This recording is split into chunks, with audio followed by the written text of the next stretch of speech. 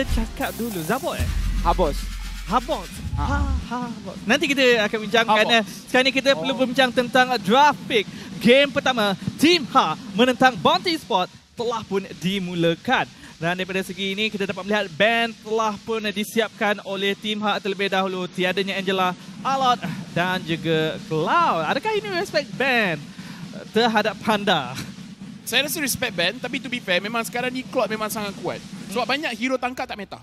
Bagi saya juga sebab diorang nak pastikan uh, bahawa mereka boleh untuk keluarkan tank jungle dengan lebih awal dan nampaknya Freddy first pick. Jadi bagi saya itu dah cukup untuk membuktikan kenapa Cloud ini di, um, di ban keluar secara terus untuk memastikan uh, kekurangan mereka daripada segi mobility itu tak akan jadi masalah.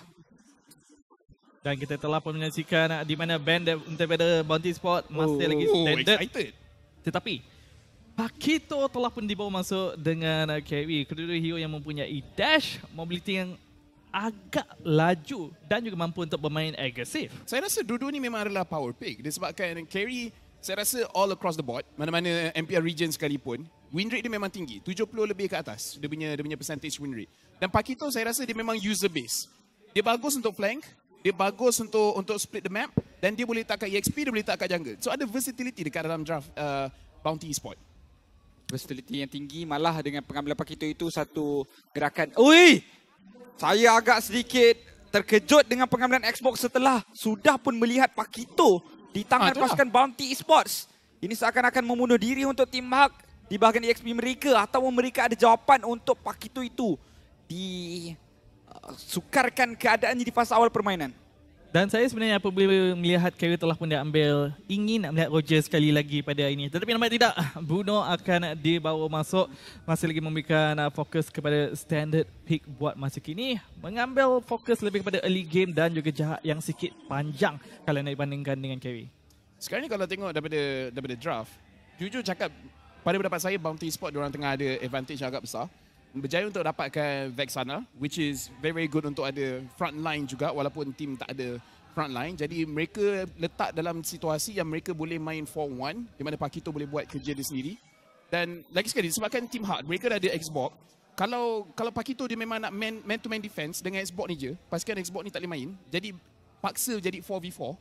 Tapi advantage lebih pada Bounty sebab Pakito still boleh boleh perform dengan sangat-sangat bagus. Ya, terutamanya pada fasa early game. Pastinya Xbox daripada tim Hak perlu bermain dengan lebih berhati-hati kerana kita tahu power spike yang sedikit berbeza kalau nak dibandingkan kepada dua EXP laner ini.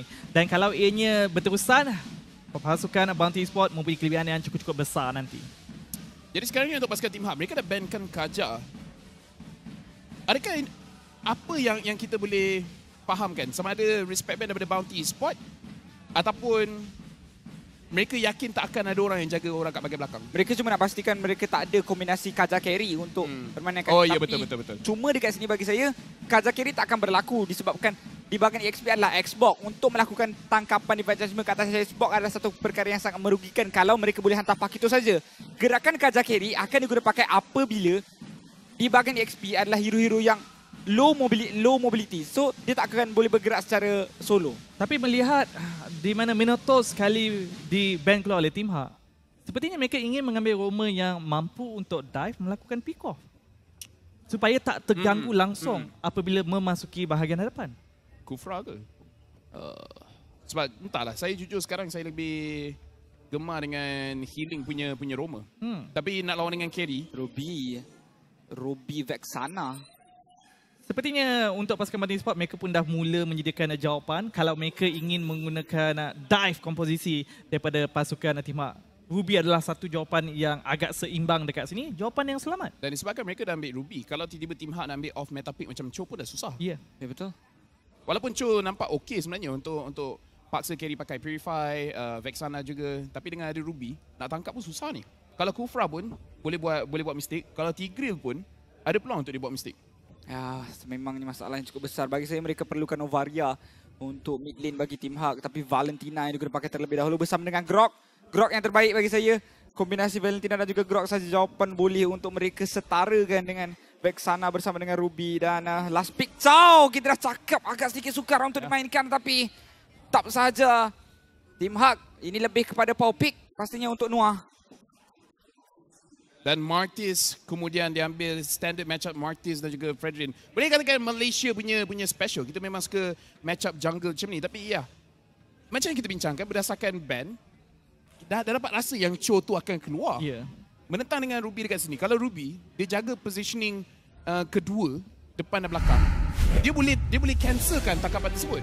Jadi dekat sini, memang pada pendapat saya, nak kena tengok macam mana Team Hak boleh ke tak nak tangkap sesiapa ataupun mereka cuma nak gunakan ini sebagai bait saja. Tetapi kalau contohnya Yan Lot gagal menggunakan ubi dengan efektif, itu akan menjadi bencana kepada pasukannya kerana tak ada yang mampu untuk mengekang pergerakan Noah.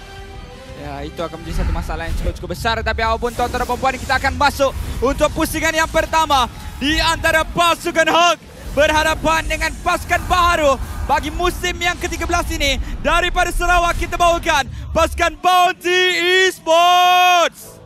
Kita terus masuk ke dalam perlawanan dekat sini di mana saya rasa kita kena tengok macam mana momentum pada bahagian mid game. Saya rasa selepas turtle kedua, itu adalah pergerakan yang penting yang kita perlu perhatikan. Pada bahagian awal ni, sepatutnya untuk kedua-dua pasukan, jangan ambil terlampau banyak risiko. Lagi-lagi untuk pasukan Team Hawk. Kerana saya rasa dengan line up yang mereka ada, lagi-lagi Yuna menggunakan Martis, Martis dapat 2 kill, nak recover tu susah. Saya setuju. Yang di mana Bounty Esports yang perlu bermain dengan lebih agresif sedikit, terutamanya dengan adanya kehadiran Matis eh? dekat sini untuk mendapatkan kill the make Sebab kill. itulah dia yakin.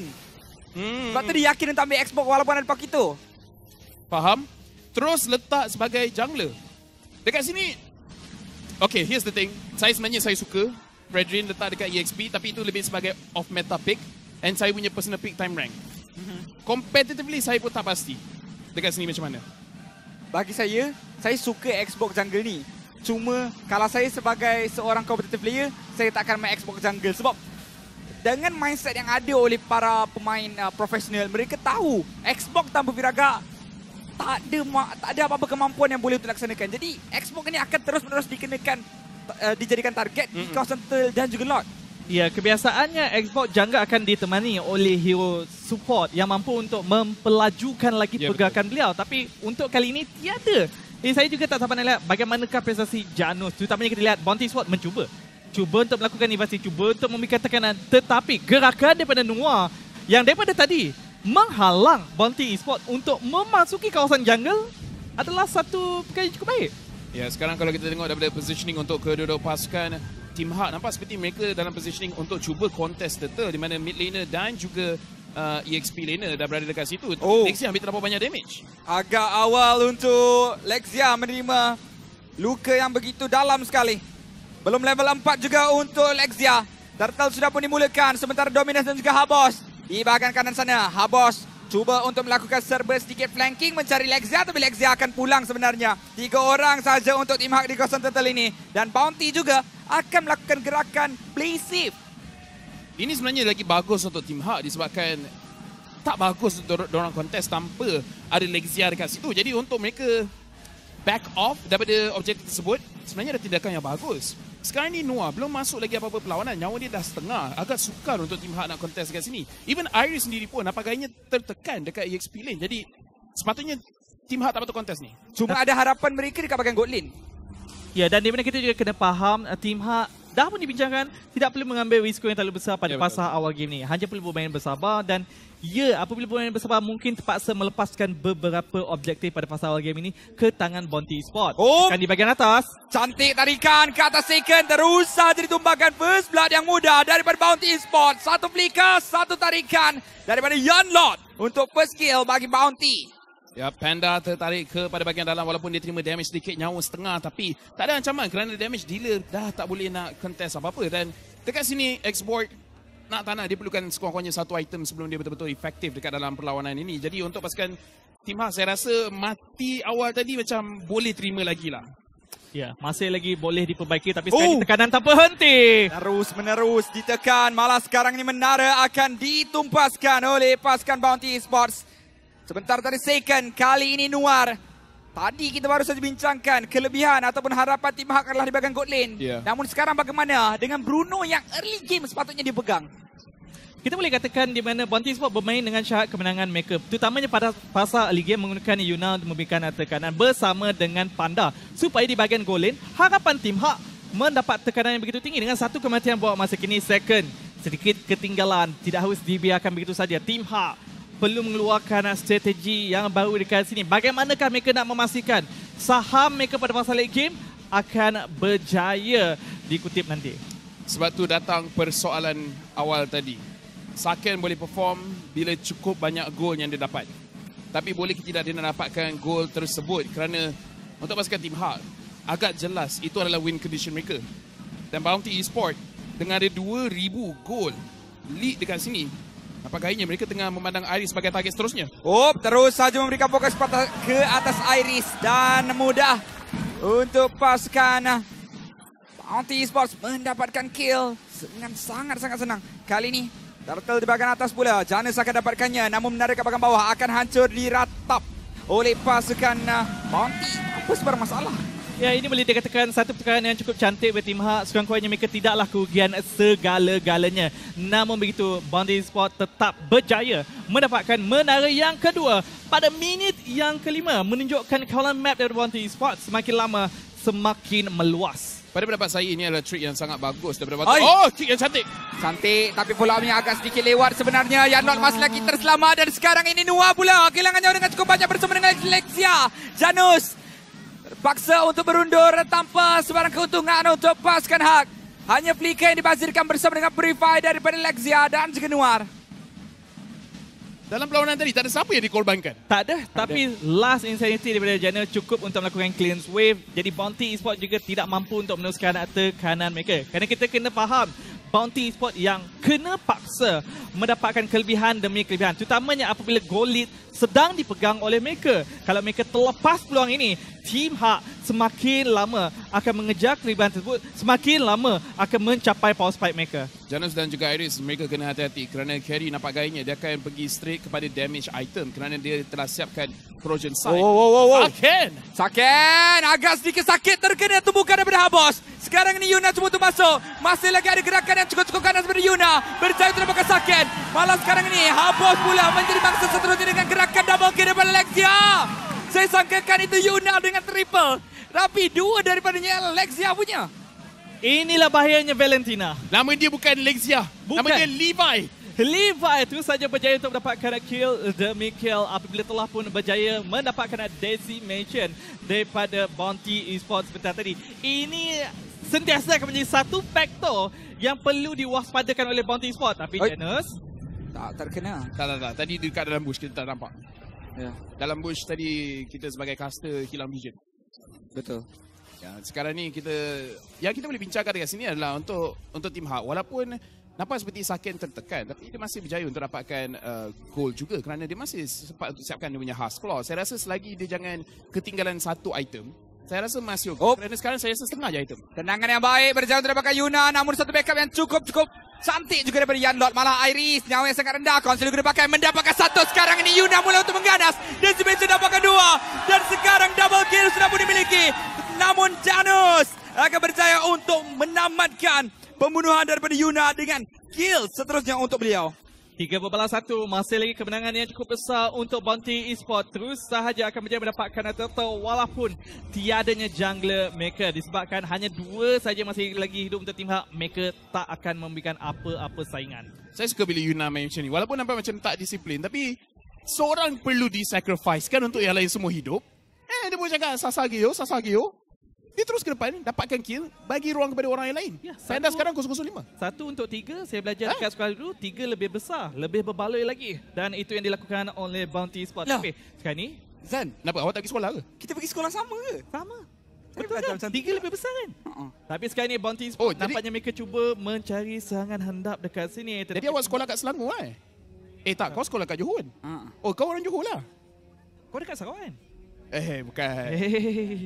Terus disclaimer. Ya, tapi sekarang ni Body Sport masih lagi meneruskan uh, cubaan untuk mencari mangsa. Namun itu tim Hak menyedarinya telah pun melakukan pergerakan kepada bahagian atas pula. Mereka bertindak oh. untuk bermain dengan lebih berhati-hati kerana mereka masih lagi sedar perbezaan 3000 gol di bahagian hadapan untuk Body Sport. Mereka masih perlu memberikan tanda Oh. tetapi Noah Cantik gerakan daripada pasukan Hak Bounty tapi sekarang ini Nuar dengan konsil cuba untuk melakukan serangan balas berjaya untuk dapatkan Panda ataupun tidak. Satu kena berupaya yang cantik daripada Panda tapi Panda tetap akan diletupkan dengan last insanity. Yang Lord cuba untuk bertahan tetapi Lexia juga akan berjaya untuk menangkap beliau walaupun mengorbankan dirinya sendiri. Dua orang terkorban untuk Bounty sementara satu saja untuk tim Hawk.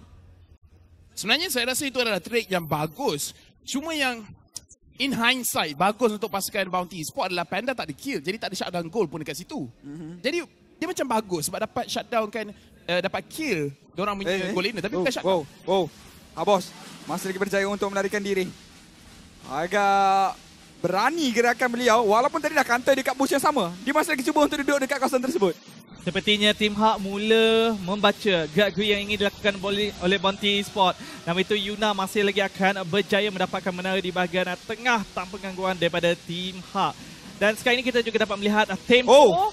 Yan Lord berjaya untuk dapatkan Noah tendangan. Berjaya Oh, dilakukan ke atas panda tapi Alamak. sedikit kurang baik apabila Dominus melakukan engagement kembali melakukan counter engagement yang cukup cukup cantik.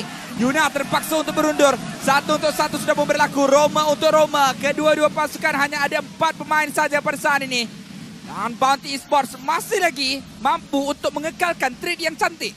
Benda ni kecil tapi saya suka gerakan Saken dekat situ sebab walaupun Noah dia punya kick tu off angle tapi Saken terus hentikan serangan dia dekat orang yang depan.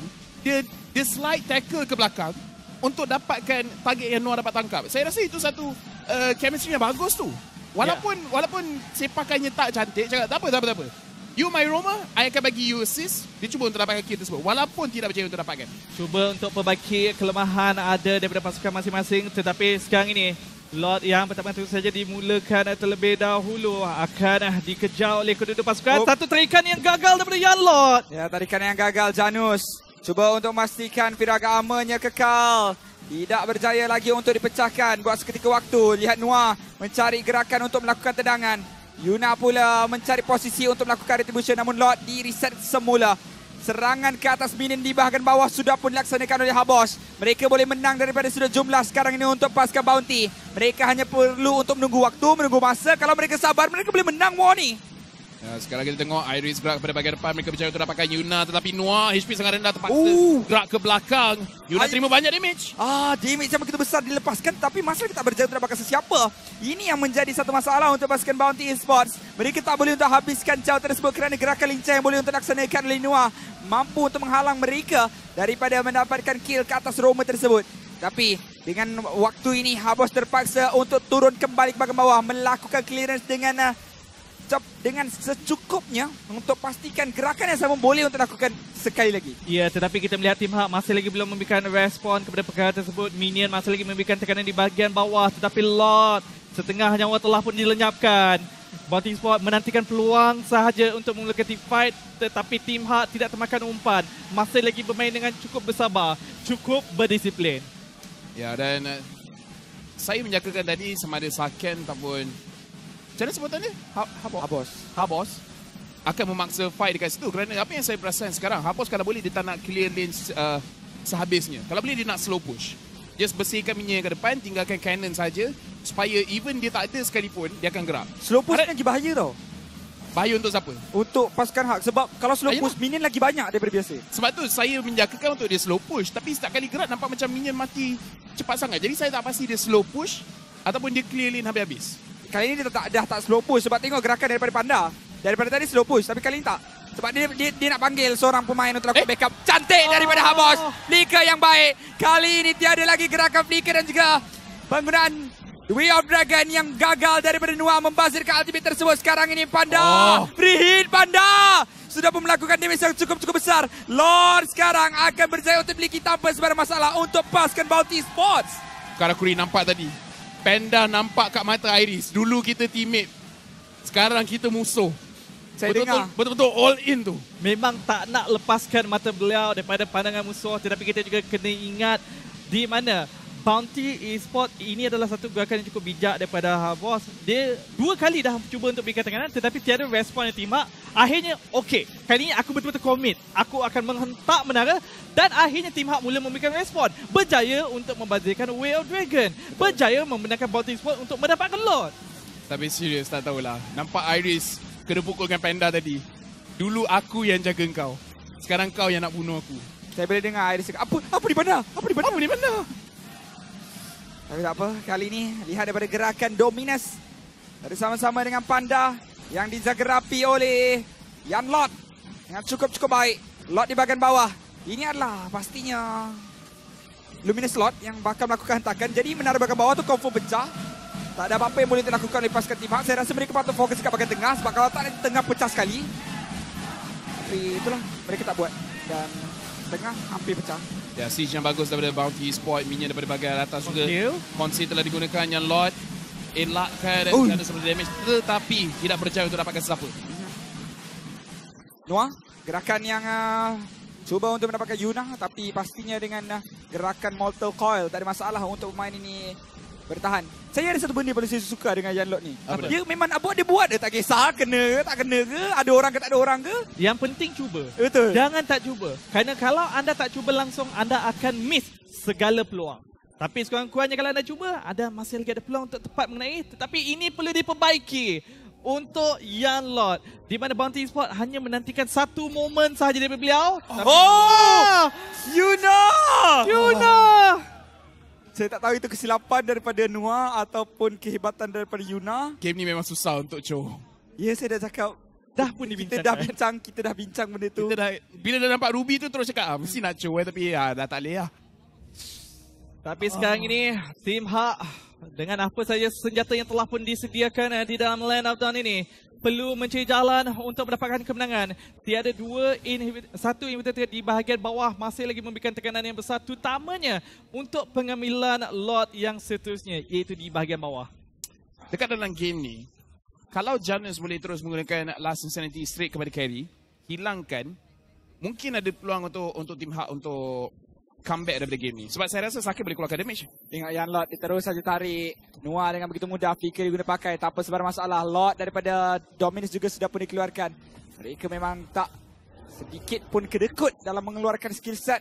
Selagi boleh terlakukan poking, mereka akan lakukan walaupun sekadar berniat untuk melakukan orang kata engagement yang ingin melakukan poking. Mereka nak pastikan diorang balik. Jadi Lot ni boleh free.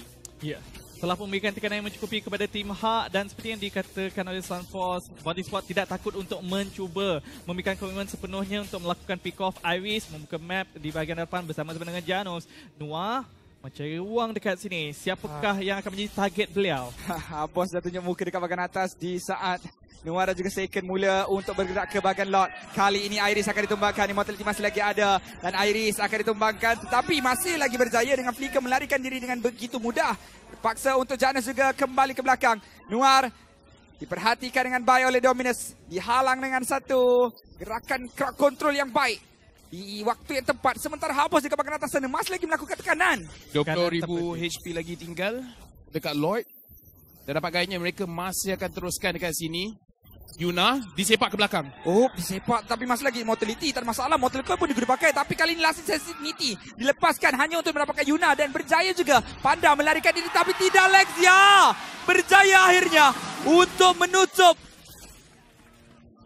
kill yang boleh untuk didapatkan oleh Panda. Digunakan Wind of Nature tapi itu adalah seorang Valentina. Ya, peluang terbaik untuk tim Hak cuba untuk melakukan kontes pada Lord tetapi Dominus masih lagi berdekatan. Nah, tidak berjaya. Cubaan menculik Lord tersebut. Akhirnya, tim Hak mula menyaksikan sinar harapan untuk game maker yang pertama ini. Disebabkan sebentar tadi perbezaan ekonomi dah 3,000 gol. Ya, betul. Tapi sekarang ini hanya tinggal kurang daripada 500 gol sahaja. Ya, dan kalau kita tengok daripada itemization dekat sini, Saken sebenarnya ada goal advantage menentang dengan Panda di mana full item telah disiapkan. Sebab tu saya merasakan tim Hak ada peluang yang sangat besar untuk comeback dekat dalam perlawanan ni. Mereka cuma perlu untuk uh, pastikan bounty spot seorang je Noah dapat tangkap. By this point, dapat tangkap orang depan pun tak apa. Disebabkan Xbox boleh keluarkan damage yang besar kepada hero yang keras. Jadi Noah boleh legitimately ambil je siapa dan mereka akan ada advantage. Even even explore dekat sini. Macam mana sebut nama dia lupa lah. Habos. Habos. Walaupun dia boleh split the lane, saya rasa Team Hub boleh handle.